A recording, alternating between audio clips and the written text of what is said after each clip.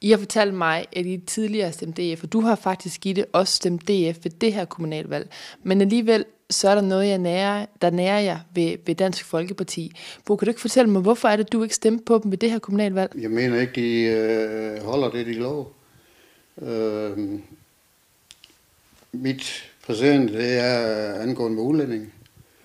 Øh, jeg mener ikke, de skal være til stede her i Danmark. Så enkelt er det. Og det har, det har DF ikke holdt. Hvad med dig, Gitte? Hvordan kan det være, du har godt nok stemt ved det her kommunalvalg, har du stemt personligt på DF, men du har alligevel fortalt mig, at, øh, at du er skuffet over partiet. Hvad er det, du er skuffet over? Det hvad det bliver lovet inden et valg. Det ligger lidt højere end det, hvad der sker bagefter.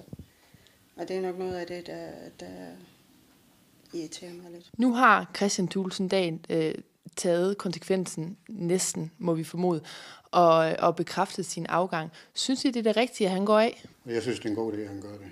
Jeg kan ikke sætte fingeren på noget, men, men jeg vil sige det, at, at han er for vag i de ting, han har sagt i, i fjernsyn og sådan nogle ting. Det, og, og det er nok til mig, at, at jeg synes, han er en dårlig politiker. Enkelt. Nu har Morten Messerschmidt faktisk meldt, at han øh, godt kunne tænke sig formandsposten. Hvad tænker du om det? Jamen, altså det, jeg har hørt om ham i, i, i fjernsyn og sådan noget, og det, jeg har fulgt med, som jeg ikke gør så meget, men øh, der vil jeg synes, at han er en god en til det. Øh, jeg ved godt, at han har lavet nogle nykker og det, men hvem har ikke det?